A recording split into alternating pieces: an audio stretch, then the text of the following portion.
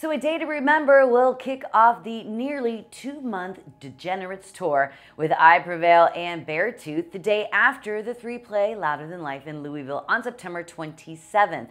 Tickets on sale Friday. Also, New Year's Day will kick off a fall headlining tour on September the 19th in Fort Smith, Arkansas, and wrap it up on October the 10th in Flint, Michigan. Tickets also on sale Friday. So Nikki Sixx has posted a tribute to Lizzie Grey, who played with him in the pre-Motley Crue group London. Sixx said Grey, who was born Stephen Perry, died Sunday after living for more than a decade with a rare brain disorder. He was 60. At the trial of former Lost Prophet singer Ian Watkins for illegal possession of a cell phone in a British jail, it came out that he had hidden the device in his anus. Watkins is currently serving 35 years for a number of child sex offenses.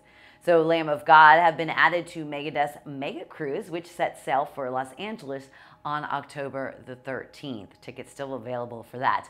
And with AC/DC celebrating the 40th anniversary of their Highway to Hell album, they have posted on Instagram the original cover art, which shows them in flames which, by the way, was rejected originally by Atlantic Records.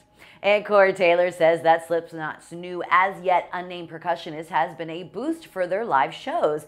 The person dubbed Tortilla Man by fans because of the mask he or she wears on stage replaced Chris Fehn, who's involved in a lawsuit with the band. Taylor was asked by Zane Lowe of Beats One what might make this mystery person an official member, and he replied, You've got to wear the tortilla on your face, first of all, and the audience has to figure out who you are. Tortilla face, he's doing great. He's a great dude and is killing it. Man, it's kind of cool. It's brought this whole new energy at everybody as well. So it's a lot of fun to watch him. I kind of hope we never find out who it is. So guitarist Mike Mushok of Staind hopes that the handful of dates they'll play this fall leads to more. Mushok has been spending most of this year working on Saint Asonia's second album, Flawed Design, with ex-Three Days Grace singer Adam Gontier. That album, by the way, is due out in the late fall. I'm Tina Smash. This is your Kilpop Minute.